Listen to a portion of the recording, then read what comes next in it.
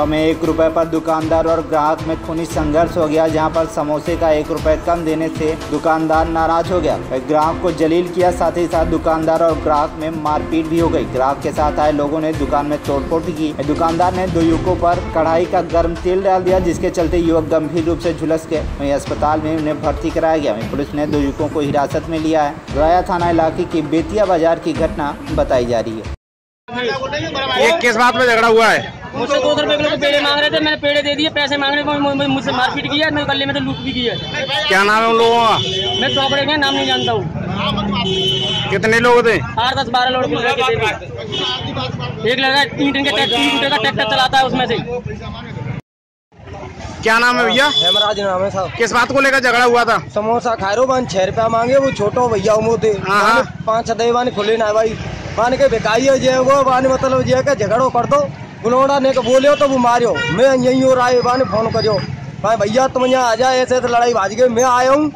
तो मैंने विनती करिए तो छोटे ने गुस्सा दिखाई जट बाने करैया में थे गति करैया में थे और तेल में ऊपर फेंक दो और छोटो इतना मारियो भाई देखियो जख्म है पूरे शरीर में। सर जो राय का मामला है एक दुकानदार ने किसी कस्टमर पर तेल मारा उसमें क्या कहना चाहिए? ये ऐसा मामला संज्ञान में आ रहा है तो उस पर कार्रवाई की जाएगी। अब ये देखना है कि तेल उसने जानबूझ कर डाला है कि धोखे से गिरा है। फिर बारे में गहराई छानबीन करके कार्रवाई की जाए। इस बारे में जैसे कहा जा रहा है कि एक रुपये को लेकर जो विवाद हुआ था। जो भी विवाद हुआ उसकी जाँच के लिए मैंने कहा है। टीवी वन इंडिया न्यूज़ के लिए दीपक चौधरी की रिपोर्ट मथुरा। मथुरा में वृद्ध की हत्या कर आँख निकाली, शव को राधाकुंड के जंगल में फेंका गया। जी हाँ बात करें मथुरा की। यहाँ पर हत्या के बाद गुस्साए ग्रामीणों ने राधाकुंड पुलिस चौकी में घुसकर तोड़फोड़ करना शुरू कर दिया। वहीं पुलिस प्रशासन के खिलाफ जमकर नारेबाजी कर विरोध प्रदर्शन भी किया और पुलिस कर्मियों ने भागकर अपनी जान बचाई। आपको बता दें कि राधाकुंड पाटर रोड स्थित जंगल में अज्ञात बदमाशों ने व्रत की धारदार हथियार से प्रहार कर हत्या करने के बाद गुस्साए कुंजेरा के सैकड़ों ग्रामीणों ने ट्रैक्टर टाली में भरकर राधाकुंड आ गए। यहाँ पर ग्रामीण पुलिस चौकी में घुसकर टेबल पंखा और कुर्सी मोटरसाइकिल आदि को तोड़ दिया। वहीं रिपोर्ट लिखने में देरी करने व बदमाशों से मिले होने का आरोप भी लगाया। वहीं तोड़फोड़ कर ग्रामीण चले गए। साथ ही साथ S P R Aditya Kumar Shukla ने बताया कि मृतक के परिजन अज्ञात लोगों के खिलाफ तहरीर दी है। मुकदमा लिखा जा रहा है। फॉरेंसिक टीम जाँच में जुट गई घटना में जो भी दोषी होगा कानूनी कार्रवाई की जाएगी। नाम प्रसाद है। जी जो यहाँ पे हुकम सिंह की मौत हुई है कैसे हुई है क्या कारण है? अब ये तो बता नहीं सकते। हम हम तो थे नहीं यहाँ। ये पशु चराते रहते थे रोज़ाना यहाँ के हम्म। अब क्या हुआ है क्या नहीं हुआ है ये तो सब हमको पता नहीं है। घर से कब के निकले थे? घर से ये निकलते थे साढ़े नौ दस बजे। तो आपको कैसे जानकारी हुई कि हमारे को जानकारी हुई एक लड़का गया था श्याम बाबू नाम का बोला आपको पता है आपका भाई कहाँ है? मैंने कहा मेरे को पता नहीं है मैं तो मथुरा से आया हूँ। तो उसने बोला वहाँ जूते और वो पड़े लाठी उसकी देख लो जाए के कहीं। तो हम यहाँ आए तो हमको यहाँ सब आप लोग मिले और हमसे पहले पुलिस भी मिली है। सब जनता मिली है हमको तो अब लास्ट में पता चला। प- पशु चराने आते थे इनके साथ कोई और भी आता था या ये अकेले आते ये अकेले ही आते थे। और तो राधा कुंड के यहाँ ऐसे चराते रहते थे कोई एक आध हमारे गाँव का भी आ तो जाता था। क्या मान के चले कोई रंजिश के तहत इनको मारा अब मैं तो ये तो कुछ नहीं बता सकता कि रंजिश है क्या है ये तो सब ऊपर वाला जाने या कोई मतलब मैं कैसे बता दू रंजिश थी का क्या था? वन इंडिया न्यूज़ के लिए दीपक चौधरी की रिपोर्ट मथुरा।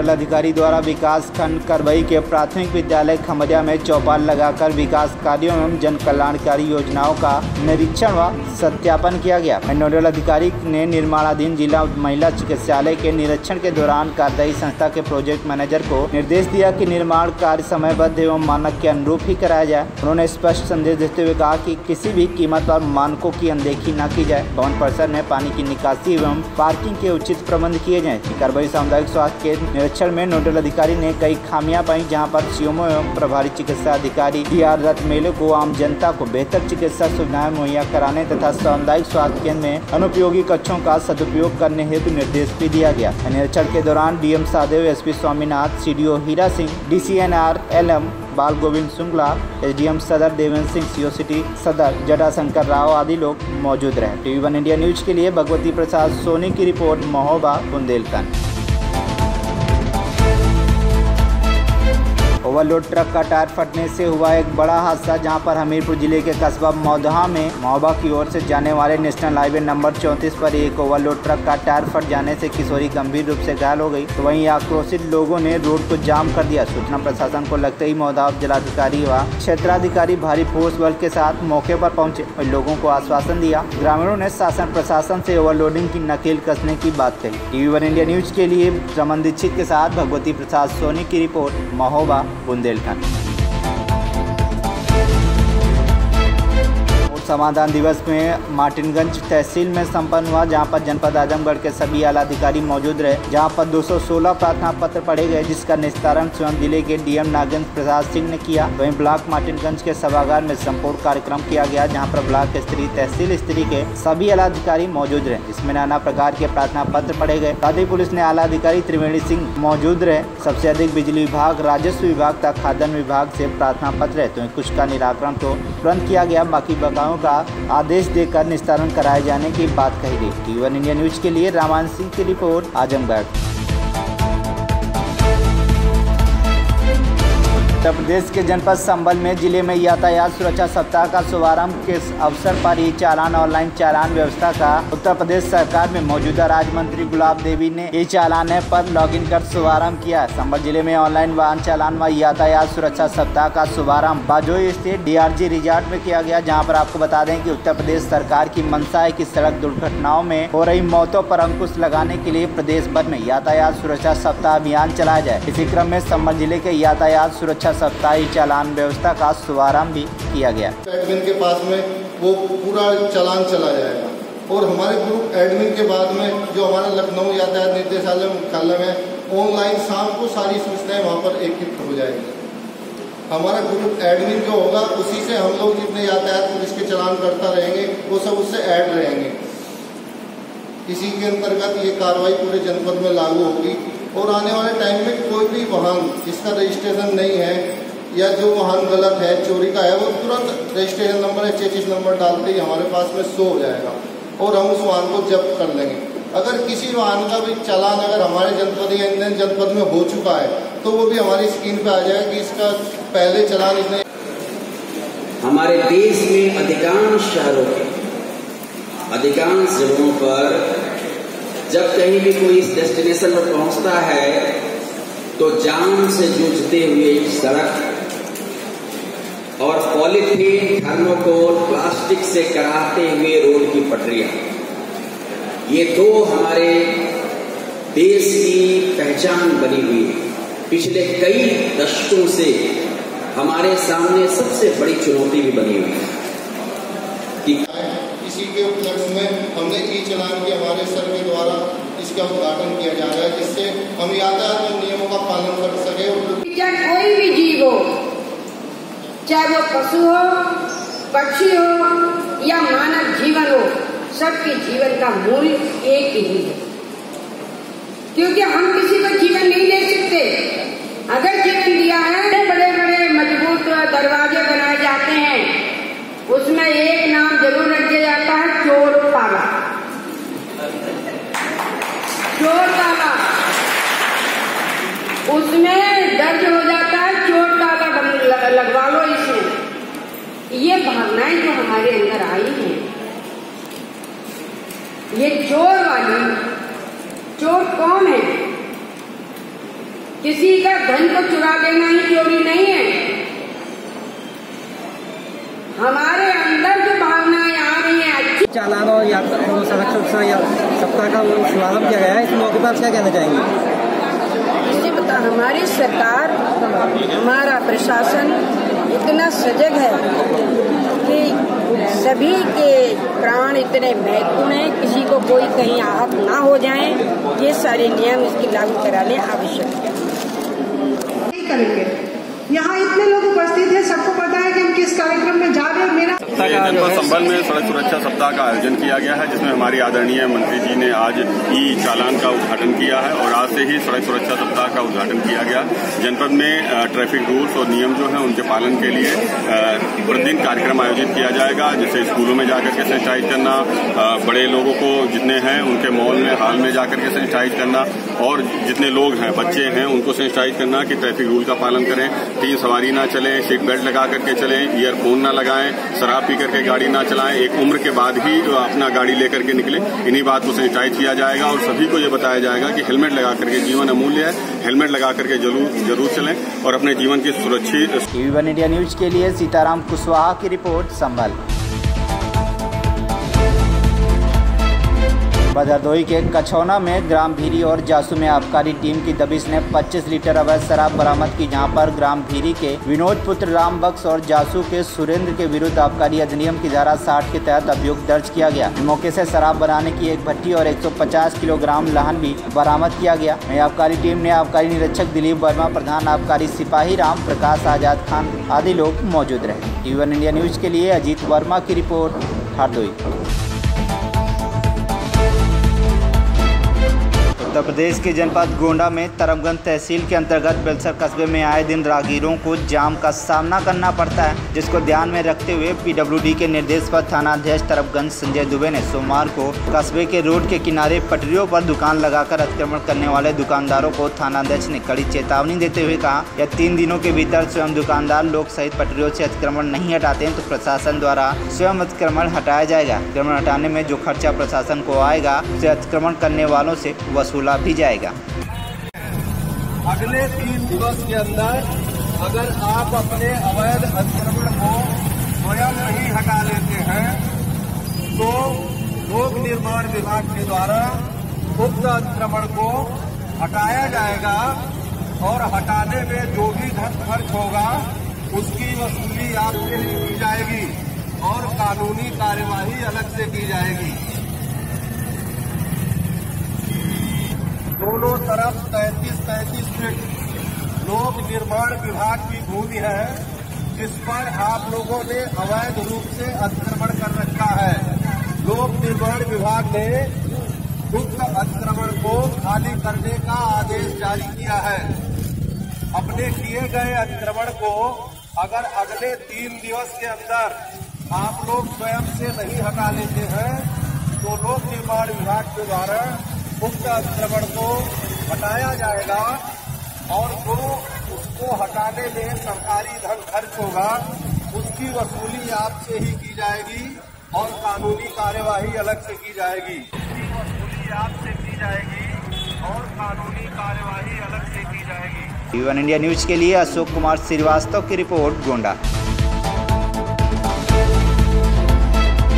उत्तर प्रदेश के जनपद मथुरा में जिला अस्पताल में सीएमएस के बाबू रणजीत सिंह की दबंगई का वीडियो वायरल हुआ, जहाँ पर अस्पताल में मेडिकल सर्टिफिकेट बनवाने आई महिला से अश्लील बातें करते हुए नज़र आए। में विरोध करने पर युवक और महिला के साथ बाबू ने जमकर मारपीट की। वहीं पीड़ित महिला को एफआईआर की धमकी देकर बाबू ने अस्पताल ऐसी भगाया। मथुरा के जिला अस्पताल परिसर का मामला बताया जा रहा है जहाँ पर जिला अस्पताल प्रशासन मामले को दबाने में लगा हुआ है। जिला अस्पताल परिसर में मारपीट के वीडियो सामने आने आरोप सीओ सिटी राकेश कुमार ऐसी बात की गई तो उन्होंने बताया कि पूरे मामले की निष्पक्ष रूप से जाँच कराई जाएगी और जाँच के बाद जो भी दोषी होगा उस पर कार्रवाई की जाएगी। फ़िलहाल अभी तक दोनों पक्षों की तरफ़ से कोई तहरीर नहीं आई है। वहीं सीएमएस के बाबू रजदीन सिंह की दबंगई का वीडियो वायरल हो रहा है। और उस पर महिला के साथ एक तरह बदसलूकी की, चर्चाएँ भी हो रही है। एक तरफ़ योगी सरकार बेहतर स्वास्थ्य व्यवस्था और महिला सुरक्षा देने के दावे करती है लेकिन दोनों ही दावे मथुरा के जिला अस्पताल में खोखले साबित दिखाई दे रहे हैं। वहीं देखना यह होगा कि सीएमएस के बाबू रणजीत सिंह पर क्या कार्रवाई होती है जिस तरह से रणजीत सिंह की दबंगई का वीडियो वायरल हुआ है और वाकई में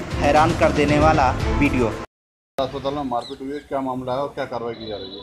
इसमें दोनों पक्ष के द्वारा आपस में अलग अलग वीडियो प्रस्तुत किया गया। यहाँ से प्रार्थना पत्र प्राप्त हुआ जाँच कराई जा रही है जाँच करा के आवश्यक वैधानिक कार्रवाई की जाएगी। आमतौर पर देखा जाता है कि आजकल जिला अस्पताल जो है मारपीट का जो केंद्र बनते चले जा रहे हैं दिन मारपीट होती है इसको लेकर क्या व्यवस्था की जा रही है? नहीं इसको लेके हम लोग फुटेज देख रहे हैं जो वैधानिक कार्रवाई होगी उनके खिलाफ कार्रवाई करेंगे जो टीवी वन इंडिया न्यूज़ के लिए दीपक चौधरी की रिपोर्ट मथुरा। श्री राम की पावन जन्मस्थली मखौड़ा धाम, जो कि बस्ती जनपद के परशुरामपुर थाना क्षेत्र के पड़ता है, जहाँ पर मखौड़ा धाम में श्री चक्रवर्ती, श्री महाराज दशरथ जी ने उत्कृष्ट यज्ञ किया था। उसी यज्ञ के परिणाम स्वरूप पुरुषोत्तम मर्यादा, पुरुषोत्तम श्री श्री रामचंद्र जी का जन्म हुआ था। इसलिए मखौड़ा धाम बड़ी, बहुत ही पवित्र स्थान है। मंदिर से सटी हुई मनोरमा नदी भी है, जिसके दर्शन मात्र से ही मानव के मन का पाप नष्ट हो जाता है और सभी मनोकामनाएँ पूरी होती हैं। इसीलिए इसे मन कामेश्वर नदी भी कहा गया है। मखौड़ा धाम के जीर्णोद्धार के लिए इस प्रदेश के मुख्यमंत्री योगी जी का आगमन मखौड़ा धाम में हो चुका है। इस क्षेत्र के सांसद हरीश द्विवेदी व क्षेत्र के विधायक क्षेत्र के जन जन के प्रिय हैं। अजय सिंह जी का भी बड़ा योगदान रहा है। आज इस मखौड़ा धाम के पुजारी व महान सूरज नारायण दास जी से हमारी खास बातचीत हुई, जहाँ पर उन्होंने बताया कि इस भूमि पर चक्रवर्ती महाराज दशरथ जी के वर्तमान महान दिवंग पर सदाचारी जी की अध्यक्षता में एक क्षेत्र में यज्ञ का कार्यक्रम 2006 से होने लगा है। तब से इस भूमि का महत्व विकास में कई गुना बढ़ गया है। उसके बाद जब भारतीय जनता पार्टी की सरकार व केंद्र में व राज्य में सरकार स्थापित हुई है, तब से विकास यहाँ पर निरंतर चल रहा है। होने पर सुहागा हो गया। पुरुषोत्तम महाराज ने राम जी का पौधोस्थली व कर्मस्थली बनेगा, तब तक जन्मस्थली का निर्माण नहीं होगा। उन्होंने कहा कि जब होगा कर्मभूमि बन जाएगा तो राम जी की जन्मभूमि अपने आप ही बन जाएगी। इस मकोड़ा धाम के विकास हो जाने से क्षेत्र के लगभग आठ से दस जिलों में खुशी की लहर है, क्योंकि जिस तरीके से समय जीर्णोद्धार का कार्य चल रहा है उससे पहले किसी भी सरकार में नहीं चला था। टीवी वन इंडिया न्यूज़, मैं मंडल हेड बस्ती दिवाकर शर्मा। इस समय हम मखौड़ा धाम में हैं, जो कि भगवान राम की जन्मस्थली है, और ये एक पौराणिक स्थल भी है। यहाँ पे मखो धाम श्री राजा दशरथ जी ने किया था। तब श्री राम जी की पुत्रेष्ट मतलब उनका यहाँ पे यहीं से उनका जन्मस्थली भी कहा गया है और एक पौराणिक स्थल भी है। यहाँ पे जीर्णोद्धार इसका हो रहा है और हमारे बीच में इस जो है मंदिर के सिर्फ़ महाराज जी हैं और हाँ इधर सामने आ जाइए। हमारे बीच में श्री सूर्य नारायण दास जी हैं, महाराज जी। महाराज जी, इस समय आप जो है यहाँ पे मखौड़ा धाम में जो ये कार्य चल रहा है, इससे आप संतुष्ट हैं महाराज? इस मंदिर के व्यवस्थापक पुजारी सूरज नारायण दास वैती मक क्षेत्र मखौड़ा धाम। इस मक क्षेत्र में जो विकास कार्य का जो प्रारंभ हुआ था, हो रहा है, ये कार्य लगभग लगभग अपने संचालित समय से हो रहा है और अच्छा ही हो रहा है। जहाँ कुछ नहीं था तहाँ राम जी की कृपा से बहुत कुछ हो, हो रहा है। इस क्षेत्र के, के जो जनप्रतिनिधि है क्या इस कार्य में सहयोग अपना आपका कर रहे हैं? इस जो विकास कार्य हो रहा है बाहर में उसमें सब कोई का सहयोग है? और अंदर में जहाँ पे भगवान राम की उद्भव स्थली है यहाँ सब कुछ हो गया लेकिन भगवान राम की मंदिर छोटा सा पड़ रहा था। तो अध्यक्ष महंत श्री देवेंद्र प्रसादाचार्य की अध्यक्षता में और जनता की सहयोग और इस सहयोग के अगड़िया काम करने वाले माननीय इस क्षेत्र के विधायक जी एवं सांसद जी सब कोई से सहयोग लेकर इस मंदिर का भव्य निर्माण करा रहे हैं। इस क्षेत्र के माननीय विधायक जी श्री अजय सिंह जी और श्री हरीश द्विवेदी जी इस पौराणिक स्थल के जोरोद्धार जीर्णोद्धार में उनका बहुत बड़ा सहयोग है। और अभी ये बताएँ महाराज जी कि माननीय श्री मुख्यमंत्री जी, योगी जी, महाराज जी जब से आए हैं, तब से कार्य से मतलब आप संतुष्ट है? आगे कार्य कैसा अपना हो रहा है? जैसे राम जी के शरण में हनुमान जी थे, वैसे ही अपने उत्तर प्रदेश में हनुमान जी के दूसरा रूप लेकर माननीय मुख्यमंत्री जी ऐसे हुए हैं, जो इस क्षेत्र में और इस पूर्वांचल में पूरा उत्तर प्रदेश में जितना भी धर्म स्थली है उसमें सबका विकास कर रहे हैं और विशेष करके अयोध्या मखौड़ा अब माननीय यशस्वी प्रधानमंत्री जो जो बनारस का भी उद्धार कर रहे हैं अच्छे से अच्छे इसके सौंदर्यकरण कर रहे हैं। इससे जो ये विकास हो रहा है महाराज जी मखौड़ा धाम का इससे आप इस क्षेत्र की जनता को या इस प्रदेश की जनता को आप अपने तरफ़ से क्या आशीर्वाद देना चाहते हैं? ये जो काम हो रहा है जिस समय कुछ नहीं था तहाँ पे बहुत कुछ बन गया है। इसलिए माननीय मुख्यमंत्री जी को और इस क्षेत्रवासियों के और ऐसे जो इस बस्ती के जिला अधिकारी हैं, इस सब के लिए बहुत बहुत राम जी की तरफ़ से बहुत बहुत बधाई वन इंडिया न्यूज़ के लिए दिवाकर शर्मा की रिपोर्ट, बस्ती।